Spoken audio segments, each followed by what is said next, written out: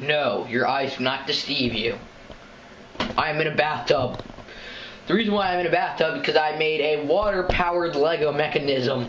Um, so yeah, the downstairs sink is in use, so that's like the only big sink in the house that I can actually use. But like, so yeah, let's get this shindig started.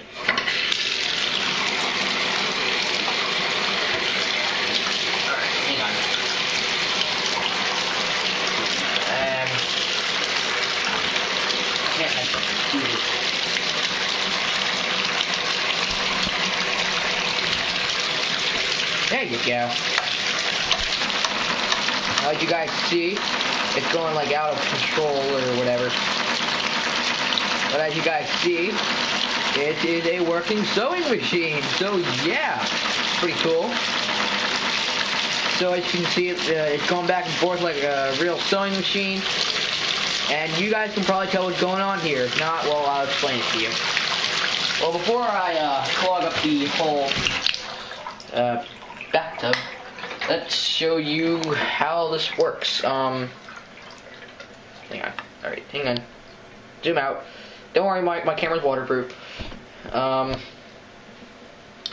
so yeah, if you guys can tell, this is the same mechanism as I did with the horse. So, um, that was a fail. Hang on. And here we go.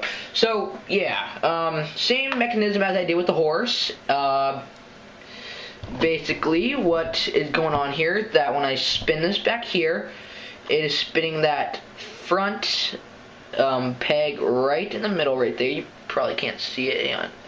Yeah, see that black peg right there? Yep. So then this peg right here is attached to this right beside that black peg. So that black peg is spinning, which is also going up. So it's going 360. So it's going like that, and uh, yeah. And then this part right here, it's not like an attachable peg thingy, so it just spins freely and just does whatever it wants. So yeah, it's a working sewing machine. So yeah, um, that's basically all I have for today, guys. Hope you enjoyed this. If you want to see more Lego creations, or if you want to see Garry's Mod, Team Fortress, or Minecraft videos, subscribe to my channel right now by clicking the subscribe button down below. And, uh, yeah. So live a wonderful life on the mycelium mushrooms, have a time the club geckos, and keep those gems shining, everyone. Gecko out. Boop. Thank you guys for watching, and no, do not try this at home. And like fabric, do not try it with fabric, because it will get the fabric wet, and it does not actually sew. It just looks like a sewing machine. So yeah, see you guys.